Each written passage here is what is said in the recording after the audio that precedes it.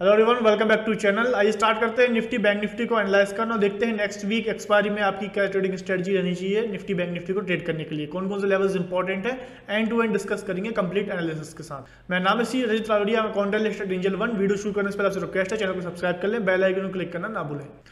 27 जुलाई की एक्सपायरी को एनालाइज कर रहे हैं। निफ्टी इस वीक में क्लोज हुआ है उन्नीस के आसपास। लगभग 180 points week on week basis पे तेज़ी देखने को मिली है। पैटर्न की बात करें मंथली और वीकली टाइम फ्रेम पे तो जैसा कि आप स्क्रीन पे देख पा रहे हैं मंथली टाइम फ्रेम की candle so monthly time frame में जैसा कि आप देख पाए पिछले चार महीने से अगर आप देखें तो मार्केट में एक बुलिश रैली चल रही है। लगातार आपको बुलिश कैंडल्स देखने को मिल रही हैं। लेटेस्ट मंथ की कैंडल जुलाई मंथ की कैंडल भी एक बुलिश कैंडल देखने को मिल रही है। बट ऊपर पे हल्की हल्की सी एक विक ज़रूर निकल के आई है। वीकली टाइम फ्रेम की कैंडल पे और हमको डिटेल में देखने को मिलेगी।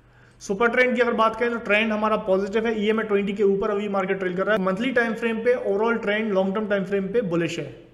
वहीं अगर वीकली टाइम फ्रेम की कैंडल को अगर हम एनालाइज करने की कोशिश करें तो वीकली कैंडल अगर आप देखें तो एक पिन बार कैंडल टाइप की कैंडल आपको देखने को मिली है। एक लंबी रैली के बाद, एक लंबी रैली के बाद आपको एक पिनवार कैंडल देखने को मिल रही है। तो ये एक, हालाँकि एक अलार्मिंग साइन है कि हो सकता है कि जो रैली है, कुछ टाइम तक कंसोलिडेट करे हॉल्ट हो जाए। हालाँकि वीकली टाइम फ्रेम पर ट्रेंड अभी भी पॉजिटिव है, जैसा कि आप स्क्रीन पर देख पा रहे हैं। सब मंथली कैंडल होती है बुलिश वीकली कैंडल होती है बियरिश पुटकॉल रेशियो की बात करें तो zero point seven nine put call ratio है।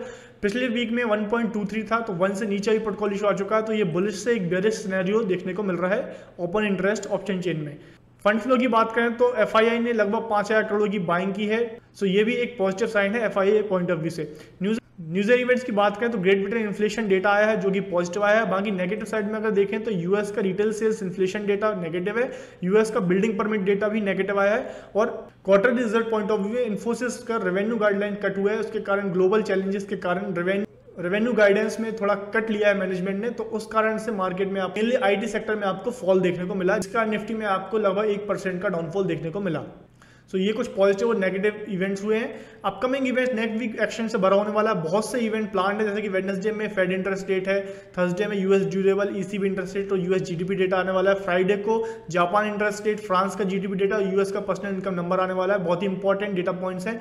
और क्वार्टरली रिज़ल्ट भी बहुत ही इंपॉर्टेंट निफ्टी फिफ्टी की इंपॉर्टेंट कंपनीज़ के रिज़ल्ट भी नेक्स्ट वीक में प्लान है जैसे कि ICICI bank Kotak bank Tata steel Tata motors, Bajaj auto, Bajaj fin, Axis bank, doctor Reddy and supply. In important companies के रिजल्ट्स पे आपकी नज़र रहनी चाहिए, जो मार्केट में थोड़ा बहुत एक्शन ला सकती है। सेक्टर्स की अगर बात करें तो बैंकिंग और फाइनेंस सेक्टर पॉजिटिव रहा है, बाकी नेगेटिव में ऑयल एंड गैस और आईटी सेक्टर इस वीक में नेगेटिव निकला है। अगर हम मार्किंग सिस्टम से देखने की कोशिश करें तो यहाँ पे देख पा रहे हैं वीकली चेन वन परसेंट के आसपास है तो प्लस वन देंगे मंथली कैंडल बुलिश है तो plus one weekly candle bearish है minus one put call ratio negative हुआ है तो minus one F I bullish तो प्लस वन पॉजिटिव नेगेटिव में देखें, एक इवेंट पॉजिटिव है तो प्लस वन तीन इवेंट नेगेटिव में है तो minus three banking finance positive में है और oil and I T negative में है तो माइनस थ्री यहाँ पे सो रेटिंग निकल के आती है minus two date is neutral अभी मार्केट लास्ट वीक में बुलिश सिनेरियो था। लास्ट वीक का आउटलुक जैसे कि हमने देखा बुलिश था, जिसमें आपको थर्सडे तक बहुत अच्छी रैली देखने को मिली नेक्स्ट वीक के लिए हमारा व्यू हो जाता है न्यूट्रल अब चार्ट पे आके देखते हैं कौन कौन से लेवल्स इंपॉर्टेंट है, क्या रेंज चाहिए आपकी ट्रेडिंग स्ट्रेटजी निफ्टी का आर्ली चार्ट आपके सामने जैसा कि आपने देखा अब भी रैली के बाद मार्केट ने थोड़ा हॉट लिया। उन्नीस हज़ार छः सौ से उन्नीस हज़ार पाँच सौ तक का जो लेवल था, इस पे मार्केट ने रेजिस्टेंस फेस किया। फिर वहाँ से ब्रेकआउट देने के बाद मार्केट ने एक बहुत ही बढ़िया रैली दी बीस हज़ार के आसपास। हालाँकि बीस हज़ार का लेवल क्रॉस नहीं कर पाया मार्केट बट बीस हज़ार के आसपास आके फ्राइडे के दिन आपको मार्केट में प्रॉफिट बुकिंग देखने को मिली है आईटी और ऑयल एंड गैस सेक्टर के कारण। अब मार्केट में बुलिशनेस जैसा कि हमने देखा लास्ट वीक में कंप्लीट बुलिशनेस थी बट फ्राइडे की सेलिंग ने मार्केट में एक क्वेश्चन मार्क ला रख दिया है। मार्केट अभी न्यूट्रल स्टेट में है। अब हम वेट ऑन वॉट स्थिति में आ चुके हैं मार्केट में। मार्केट अगर सपोर्ट के आसपास आता है, उन्नीस हज़ार पाँच सौ उन्नीस हज़ार सौ के आसपास तो एक बहुत ही बढ़िया बाइंग अपॉर्चुनिटी आपको मिल जाएगी। ओवरऑल ट्रेंड पॉजिटिव है। करंट ट्रेंड भी हम पॉजिटिव बोल सकते हैं बट आपकी स्ट्रेटजी होनी चाहिए बाइंग ऑन डिप्स अब मार्केट को थोड़ा और फॉलो नहीं दीजिए। सपोर्ट के आसपास मार्केट देखने को मिलेगा तो एक अच्छा रिस्क रेशियो मार्केट में आपको देखने को मिल सकता है। बीस का हर्डल क्रॉस होना इंपॉर्टेंट है, बीस के ऊपर मार्केट आएगा तो सेफली बोल सकते हैं कि मोमेंटम कंटिन्यू रह सकता है। और इसके पहले भी अगर मार्केट उन्नीस हज़ार नौ सौ से नौ सौ के ऊपर अगर सस्टेन करता है तो भी एक बुलिस सिनेरियो है कि मार्केट और फर्दर डाउनफॉल नहीं आएगा। मार्केट कंसोलिडेट हो सकता है बट डाउनफॉल के चांसेस कम हो जाएँगे अगर उन्नीस हज़ार नौ सौ के ऊपर मार्केट सस्टेन कर जाता है तो। बट अगर मार्केट इस लेवल को सपोर्ट लेवल को ब्रेक करके उन्नीस हज़ार पाँच सौ के नीचे निकल जाता है तो मार्केट में एक सेल ऑफ़ देखने को मिल सकता है, देखने को मिल सकता है, जिसका सपोर्ट रहेगा उन्नीस हज़ार का।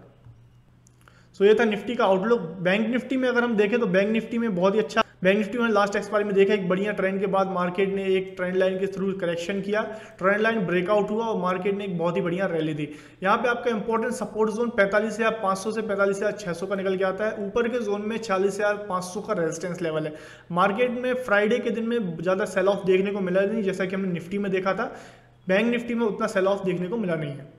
बैंक निफ्टी अगर छियालीस हज़ार सात सौ के ऊपर सस्टेन करता है तो बैंक निफ्टी में भी पॉजिटिव सिनेरियो देखा जा सकता है कि मार्केट और ज़्यादा फॉल नहीं होगा। बट पैंतालीस हज़ार पाँच सौ के नीचे अगर मार्केट निकलता है तो बैंक निफ्टी में भी आपको सेल ऑफ़ देखने को मिल सकता है पैंतालीस हज़ार तक के लेवल के लिए। सो so, अभी मार्केट को वेट करें मार्केट को कंसोलिडेट होने दीजिए और मार्केट अगर सपोर्ट के आसपास अगर सपोर्ट लेके ऊपर जाने की कोशिश करता है तो एक बढ़िया रिस्क रिवॉर्ड के साथ आप लॉन्ग पोजिशन इनिशिएट कर सकते हैं। I hope Nifty bank Nifty का आउटलुक आपको क्लियर होगा। वीडियो पसंद आया प्लीज़ लाइक करना चैनल सब्सक्राइब करना ना भूलें। Thank you for watching happy trading